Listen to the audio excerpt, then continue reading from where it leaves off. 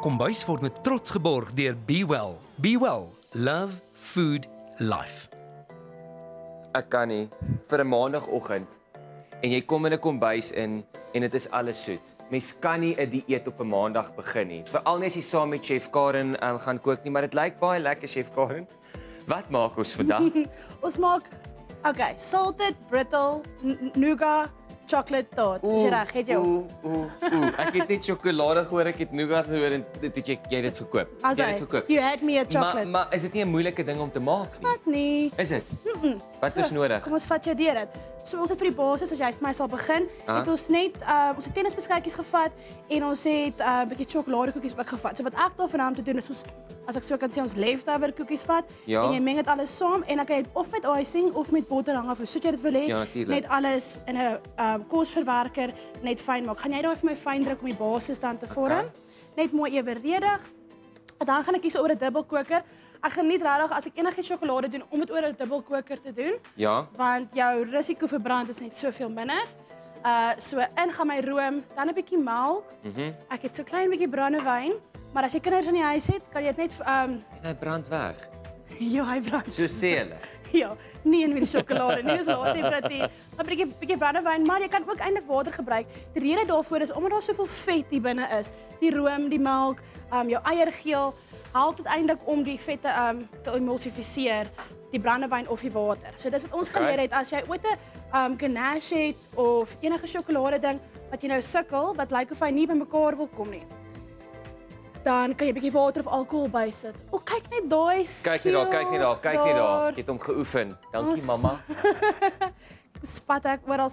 Dis hy en nou hierso is wat nou hierdie sjokoladetaart bietjie anders gemaak. So ons het nougat gekry wat eintlik nogal caramel brittle in het. So jy kan daai gegeurde enetjie amper kry, jy's om by te dra tot by die Yes. geur, okay? So gaan jy raai vir my net so bietjie net skat scatter in die Scatter pannetjie terwyl ek hierso klaar maak. So ons kry hierdie pragtige glossy smooth uh uh vulsel wat ons dan nou oor die nougat gaan gooi. Okay. En dan gaan ons hom daarna gaan ons hom bak vir 12 minute. Kyk Net om seker te maak dat ons eier gaar is, dis basies die enigste rede agter dit. En Julle kan sien ek het net 'n gewone oondpannetjie gebruik. Ja. Jy hoef nie een of ander fancy pannetjie te hê. Mm, die geure wat nie. hier uitkom. Ryk jy dit? Ai ai ai. Daar sy. Jy lei ons in versoeking. So dit dan ek net Wat is die weet. moets en die nie die die moets en moenies? Maar net Net nie te veel uh, hitte nie, dat jy kan net so 'n bietjie klop. En dan gaan ons hom uh bak vir 12 minute en dan hier is nou ons eindproduk, mooi gestol oornag. En nog 'n chefie triek, ek gaan vir jou 'n snytjie sny as jy nou saam met my wil sny. Is mes in lekker warm water Okay. en dan kry jy daai perfekte smooth cut wat jy wil hê. Kyk nou daai net vir jou. Pragtige stukkies. Mense regtig Uh, dink jy's 'n professionele chef. Ek Sy sê is vrou, mens, jy hè? moet uitvind. jy moet nog moet agterkom. En ehm um, dis hy. So ek gaan vir jou eenetjie plaas en dan kan jy nou speel. Ons het julle weet ek is baie lief vir soet en sout bymekaar.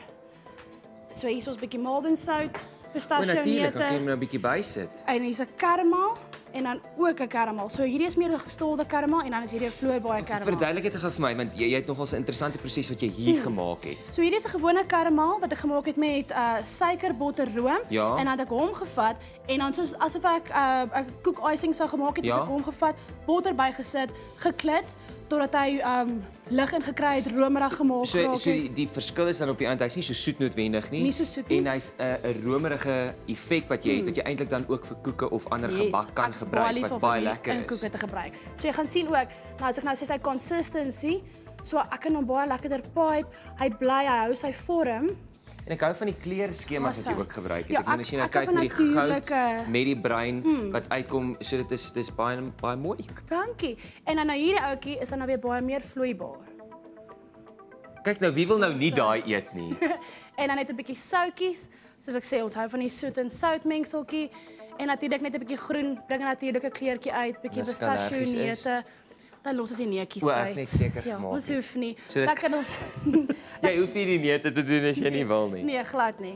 En so iets is daar iets wat jy saam met dit bedien of nie noodwendig nie? Aha, so sê jy natuurlik 'n bietjie roomys. Ooh, ooh, ooh. So wat ons hierdie manier noem half hoe ek roomys skep met 'n gewone lepel, 'n sachet. Okay. So ons maak dit 'n so klein bietjie rond.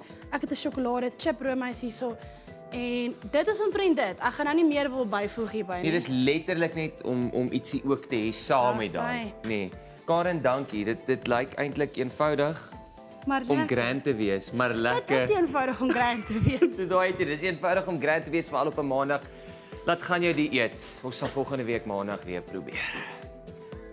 Welkom by die Groot Ontbyt se YouTube kanaal. As jy dit nog nie gedoen het nie, maak seker jy teken aan deur op die rooi subscribe. Yo! Woo! Woo!